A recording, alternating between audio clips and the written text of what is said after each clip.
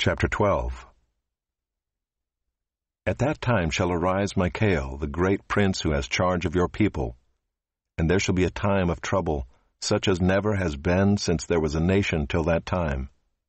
But at that time your people shall be delivered, every one whose name shall be found written in the book.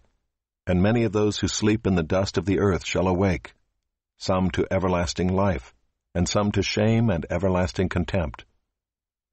And those who are wise shall shine like the brightness of the sky above, and those who turn many to righteousness like the stars forever and ever. But you, Daniel, shut up the words and seal the book until the time of the end. Many shall run to and fro, and knowledge shall increase.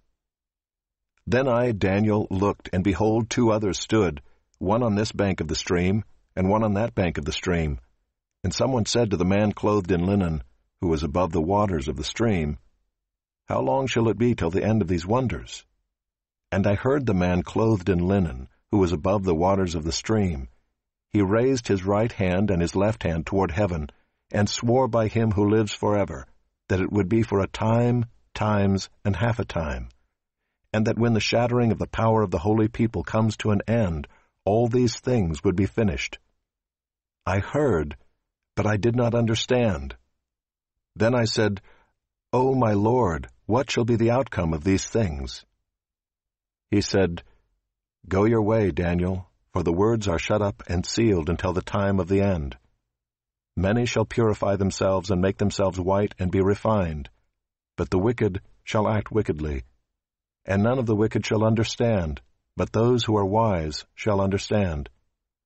And from the time that the regular burnt offering is taken away and the abomination that makes desolate is set up, there shall be 1,290 days. Blessed is he who awaits and arrives at the 1,335 days.